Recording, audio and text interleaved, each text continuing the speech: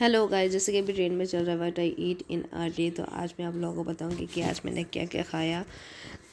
पूरे दिन में तो यहाँ पे मैंने सबसे पहले उठ कर ली चाय और पपड़ी। फिर उसके बाद मैंने खाया यहाँ पे गाजर का हलवा जो कि बहुत ज़्यादा टेस्टी बना था। और फिर उसके बाद काफ़ी टाइम के बाद मैंने बनाई है मसाला मैगी सारी वेजीज डाल करके। तो बहुत ही स्पाइसी सी बनी तो बहुत अच्छा लगा। यहाँ पे लंच में मैंने बनाया है रोटी दाल फ्राई और मेथी आलू की सब्ज़ी हरी मिर्च। और उसके बाद हम लोग छत पर आ गए थे तो यहाँ हमने चिप्स खाए।